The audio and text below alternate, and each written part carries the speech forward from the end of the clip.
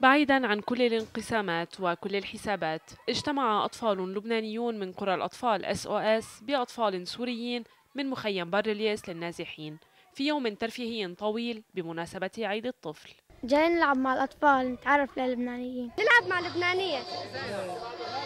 لأنه لأنه هن ألعابهم حلوة.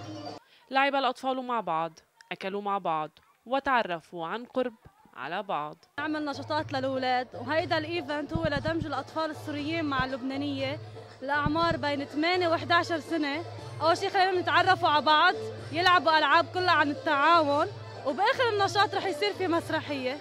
عم نلعب كثير ومبسوطين. انتهى اليوم بتبادل الهدايا بين الأطفال. على أمل لقاءات كثيرة مقبلة.